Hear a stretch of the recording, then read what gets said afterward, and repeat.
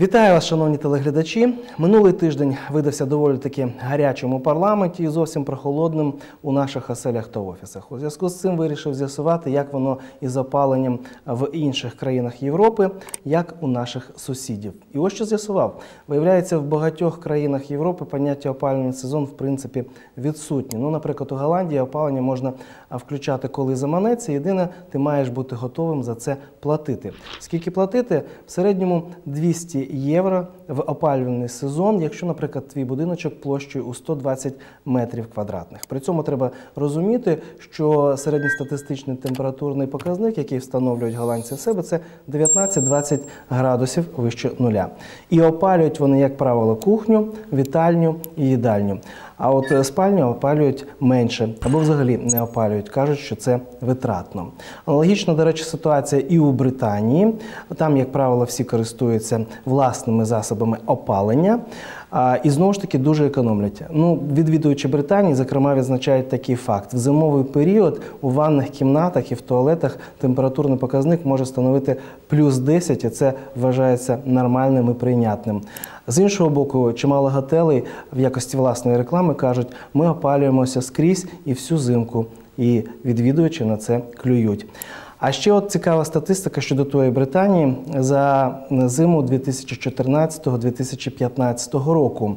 Було встановлено, що в зимові місяці померло на 40 тисяч людей більше, ніж в іншій. Переважно це були пенсіонери. І при цьому експерти з'ясували, що, як правило, смерть наступала внаслідок переохолодження вдома, бо багато людей просто не можуть собі дозволити якісне житло і якісне опалення. І мусять економити, причому економлять усі верстви британського населення. А ось ще одна цікава статистика. Її оприлюднила компанія, яка виготовляє в Німеччині термостати. ТАДО. Так от вони з'ясували, чим багатша країна, тим менший показник виставляють на термостаті відповідно користувачі цього приладу. Якщо говорити про ту саму Німеччину, то середньостатистичний показник для ночі у спальні плюс 18. Ось так от вони економлять, і німці економію заохочують. Якщо будинок старий, то ви можете включитися в програму з утеплення, а відповідно теплової реанімації свого житла, і ще держава вам 15% витрат покриє з власного бюджету. Дуже такий продуктивний підхід на відміну від того, що відбувається у нас. Тепер щодо початків опалювальних сезонів, тут е, краще апелювати до досвіду країн, які входили до колишнього соцтабору. Ну, зокрема, у Чехії опалювальний сезон офіційно може тривати увага з 1 вересня по 31 травня. Але по факту включають вони опалення, е, якщо температура за вікном впродовж двох днів менше ніж плюс 13. А в службових приміщеннях температура має бути не нижче плюс 18. До речі, така ж ситуація в Польщі, хоча в Польщі поступово і системно відмовляється від центрального опалення. І водночас зважають, якщо все-таки будинок із центральним опаленням, на заявки населення. Тобто, якщо збираються підписи, ну, наприклад, 50% плюс один голос мешканців цього будинку, то вам можуть включити опалення тоді, коли ви хочете, і виключити відповідно. До речі, так само і в Литві теж вони підходять е, до е, включення опалення вибірково і зважають на побажання е, самих мешканців будинків. Про Литву цікавий момент. Помічено, що, як правило, молоді люди вимагають включити тепло раніше а пенсіонери пізніше. Знову ж таки, це пов'язано із витратами на опалення. Але тим не менше, як бачимо, показники і передумови початку опального сезону у Польщі, Чехії чи у Литві дещо відмінні від наших. Ви напевно пам'ятаєте, що у нас включають опалення, якщо за вікном менше ніж плюс 8 впродовж трьох діб. А в службових приміщеннях, ну я маю на увазі заклади освіти чи медичні заклади, не менше плюс 16. Ну так наш вирішив законодавець, так вирішили у Києві. Погодьтеся, дещо відрізняються підходи від тих, які існують у країнах омріяного безвізу.